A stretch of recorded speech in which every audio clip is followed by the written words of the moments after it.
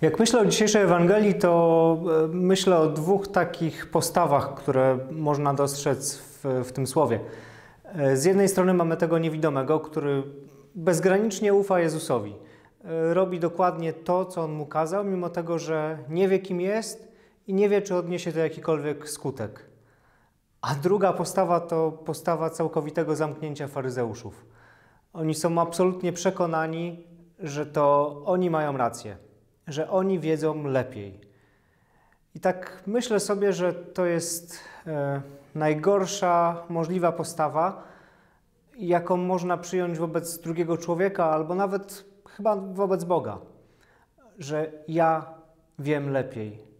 I jeżeli nawet wszystko inne, jeżeli cały świat pokazuje mi, że moje zdanie jest błędne, to i tak ja wiem lepiej.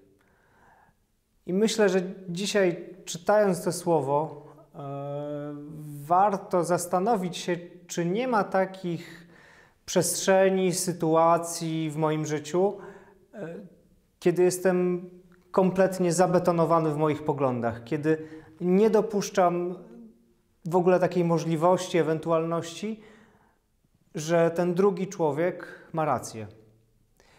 I myślę, że zastanawiając się nad tym, warto prosić e, Pana o postawę takiej ufności, jaką miał ten niewidomy. O postawę takiego zaufania, które pozwoli Bogu działać.